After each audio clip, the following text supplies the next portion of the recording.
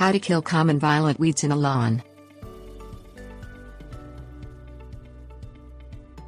When you battle broadleaf weeds in a lawn, your fight may span years due to the energetic and stubborn root systems of many weeds. When the common, or wild, violet appears in your turf, you will recognize this weed by its blossoms. Able to spread easily by underground rhizomes, the violet presents a control challenge to the gardener. Kill common violet weeds in a lawn by treating the actively growing plants with a selective herbicide. Things you'll need Dicamba selective herbicide. Apply herbicide to common violet weeds in the fall.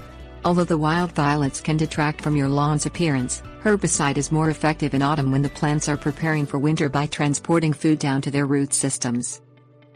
Apply the dicamba selective herbicide on a calm, sunny day with temperatures between 60 and 80 degrees.